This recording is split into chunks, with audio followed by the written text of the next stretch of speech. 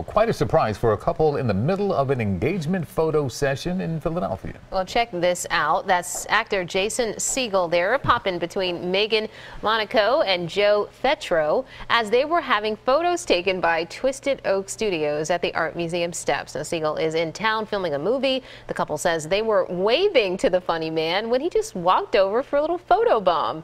After the picture, Segel shook their hands and went on his way. Now, Monaco says the surprise made it a very special day. It made it even more special because I'm of that. sure it did. That's pretty cool. I'm sure it did.